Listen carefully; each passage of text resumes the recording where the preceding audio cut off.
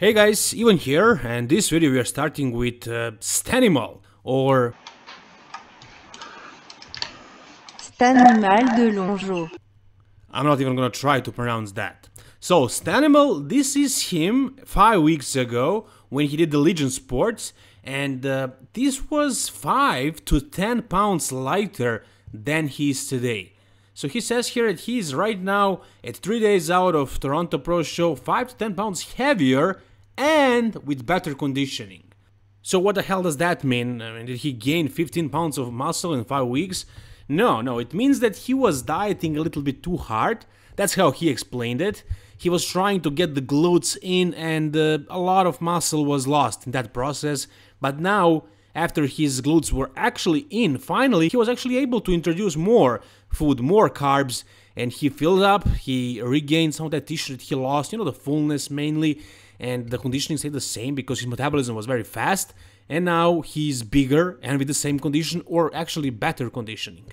That happens, it does, it makes sense actually. What's very interesting about Stanimal is that he started as a man's physique competitor and he was good at it. He made his name as such.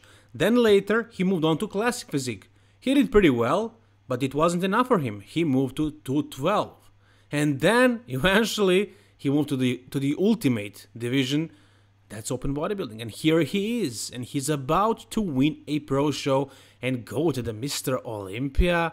I mean, this is crazy. Already at the Mr. Olympia, I think it's going to happen. Because the lineup, it's not very deep. Take a look at this. You know, in bodybuilding, you never know. Maybe one of these guys comes out of nowhere and destroys everybody. But as for now, what we know, that's Quinton Eriya, Stan, Stanimal, and also uh, Joseph Seaman and Joel Thomas are pretty good bodybuilders, but they're not they're not that good. So I think it's gonna be between Quinton and Stan. And this is what Quinton looks like right now. He looks ridiculous. He looks like a monster. With that small, tiny waist, big legs. Uh, he looks amazing, but do I see him winning a show, winning a pro show? I don't know. I, I don't think any of these two guys are that good to be winning pro shows and going to the Mr. Olympia on qualification but somebody has to win. And as impressive as he is, I don't think Quinton is going to win this show. He still needs to add more maturity, more density.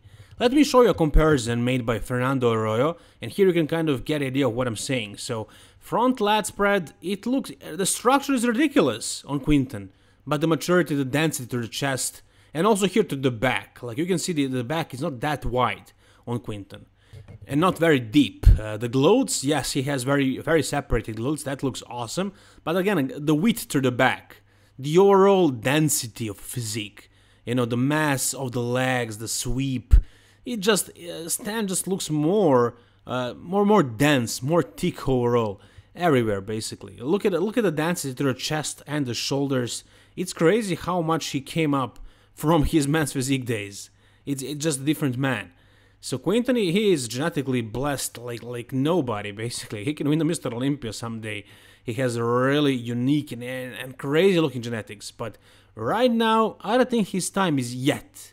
He still has to gain that maturity, and he also needs to add more density to his physique, which will happen after a couple of years of hardcore proper training. I have no doubts. If he does the work, it will happen and he will be probably unstoppable. Yeah, there, there is a potential for that.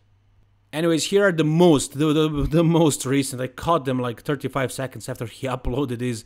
The most recent photos of Stanimal 24 hours before the show. And this is probably morning, uh, probably fasted. He looks a little bit flatter, but after he carbs up, he's gonna look much, much better, no doubt about that. And I mean, it's just ridiculous that this guy was a man's physique competitor a couple of years ago. He gained so much muscle. Surely you guys know that uh, Stanimal was Shawn Rhoden's training partner and he is devoting this potential win to him. I'm coming with all I got. I want to make you proud, brother. 2022 Mr. Olympia qualification like we wanted to step on stage together. Hashtag in your honor. Says Stanimal in his description of this new physique update. And uh, let's see, let's see what happens 24 hours. I will report it here, so guys stay tuned. Alright, next we have a very impressive looking bodybuilder who is not a pro. It's weird. I mean, Justin Shier, this is his name, looks looks incredible, looks insane, especially in these photos right here. So it's crazy that he didn't turn pro yet. I watched him on a podcast. He said that he started training at 27 and he's 36 right now. So he started late. And before he became a bodybuilder, he used to ride bicycle and do crazy stunts. So that's pretty crazy background story for a bodybuilder. That's not something that you see very often. It's not usual. But right now he looks absolutely ridiculously massive and it's it's insane that he's not a professional. He's 2 weeks out right here and he is about to turn pro. I'm sure he will get that pro card. He deserves it. He looks like a professional bodybuilder. I, I, I don't see why this guy couldn't be like one of the top pros someday even. Yeah, I can see that. He looks he, look, he has great structure, a lot of muscle, not a lot of flaws, especially in these photos, but I found one photo. This one was suspicious to me. Something is off here. How does this one make sense? Look at his stomach and his chest and his arms, everything from the front looks dry as hell. But from the back, not even close. I mean, it's just a different story. No details.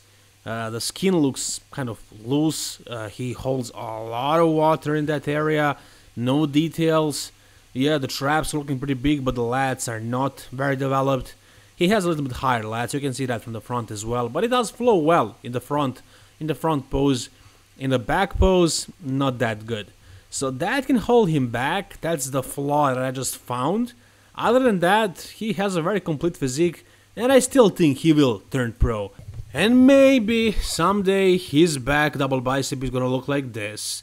This is Nick Walker, and this is not his best pose, not even close.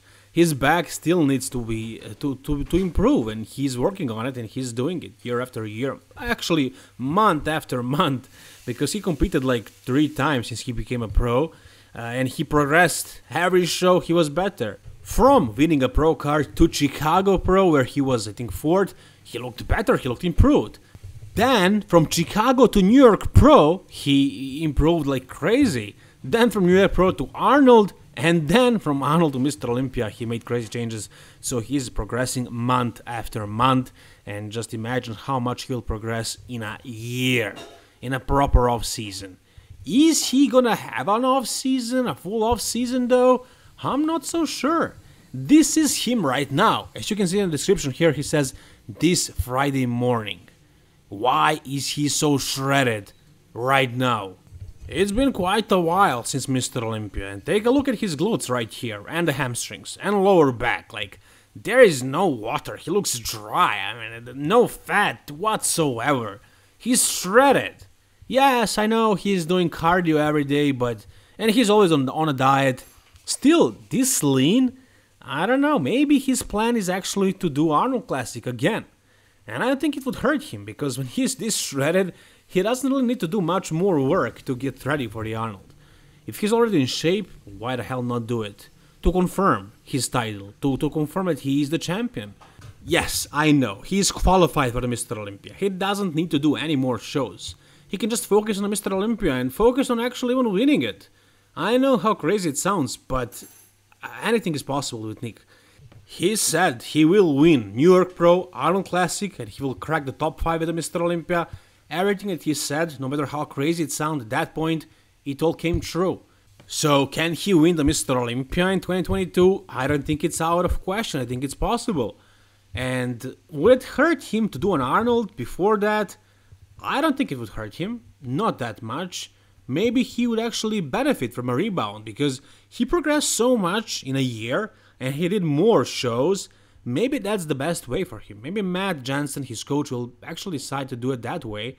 Maybe he was taking a lot of advantage from the rebounds after the shows, and that makes sense. So maybe, maybe he'll actually do the Arnold. It would make sense to me. I don't know what you guys, but look at him right now peeled, shredded, full blown. Why the hell not do it? Tell me what you think. And for the end, we have a crazy looking physique update of Antoine Vaillant. When I saw this, I was like, wow, this is bodybuilding. Antoine Vaillant, after second bicep tear, is back in the business. Look at him. This was definitely worthy making a story about. I mean, he looks really, really massive. I know he's getting over 300 pounds and he doesn't look that big on the stage, but he's actually really massive, and I'm hoping that everything will go well for him in the off season and then in the prep. I'm not sure which show exactly he's planning on doing. I think not not not not anytime soon. Maybe like next year, later next year. I'm not sure. But here he looks really freaking insane and I think this guy has a big potential. Yeah, I know he's very leg dominant, his arms could be bigger, but he has a lot of size and arms are not really winning shows, you know. It's back and legs mainly.